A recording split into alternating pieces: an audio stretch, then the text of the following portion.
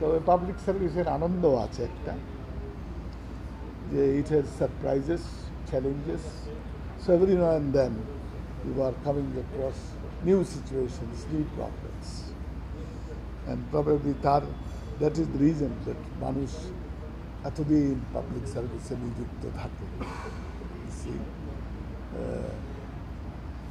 ওখানে তো কোনো রিটায়ারমেন্টের এইজ নাই।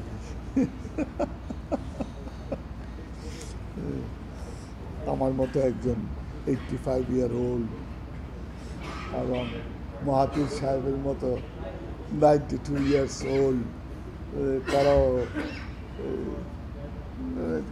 তাদেরও কর্মক্ষমতা আছে বলেই তো তারা টিকে থাকছে।